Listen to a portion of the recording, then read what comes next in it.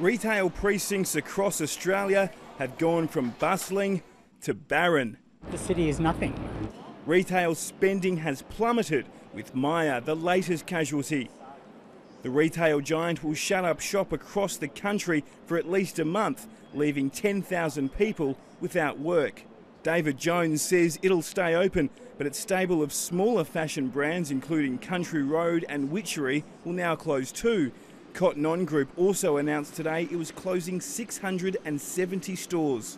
The retail giants now join Kathmandu, Rip Curl, Adairs, Just Jeans, Retail Food Group, and Athlete's Foot in shutting its stores. Those retailers are very, very concerned about uh, their staff catching the coronavirus from other consumers, and most definitely, they're very worried about their cash flow. The Retail Association says Myer has been a major fixture on the retail landscape and its closure is a massive blow.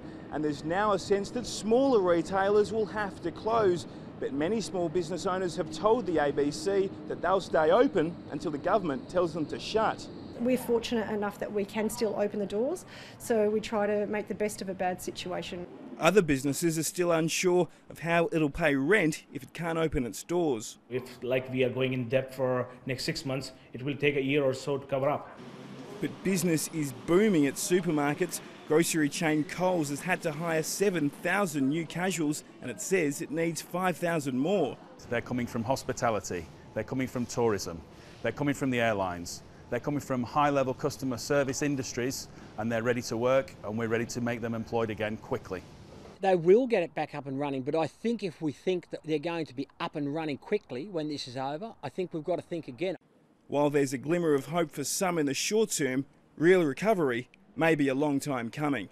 Elias Clure, ABC News, Melbourne.